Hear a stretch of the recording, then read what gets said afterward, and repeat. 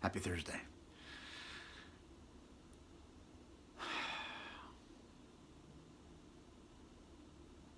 Some running around to do today. Pick up a bunch of stuff, load my car, go over to the location, install art, show tomorrow, show Saturday. I think the gallery's going to be open Tuesday to view, and then, yeah, maybe longer, I'm not sure. Stepping out and showing work is exciting and grateful, and I'm less I'm less nervous about that than I used to be. It's what I get confronted with, and I'm even just anxious about talking about it. Is just the value that that is placed on the work that you create, and I think freelance workers of any sort set that standard as well, or set their own standard, and maybe they confront some of those anxious feelings. Will people value what I do at this rate? Um, but I find it, it comes up for me.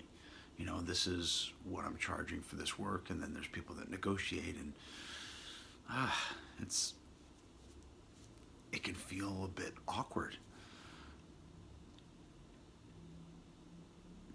So there, I said it. Um,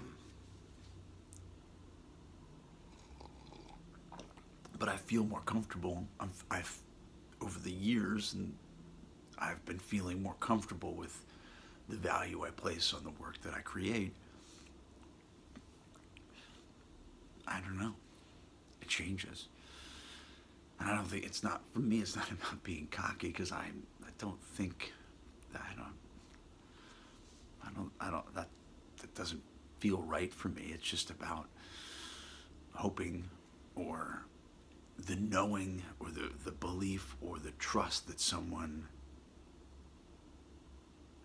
values finds value in what they're getting from me whether it's you know i started making shirts uh, i don't know years and years ago so i got into NuISMS and the time it would take to create and manufacture just this particular guy in a room just sewing um,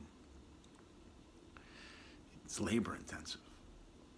Sewing was, and so was I mean painting is as well. But yeah, it's it's it's interesting. It's interesting and challenging, and but I love the process of creating. Wouldn't have it any other way. Um, yeah, I don't know.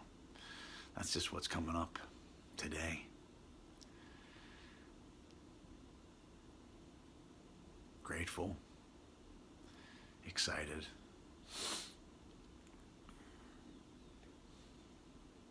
Anything can happen. Peace. Much love. Big light.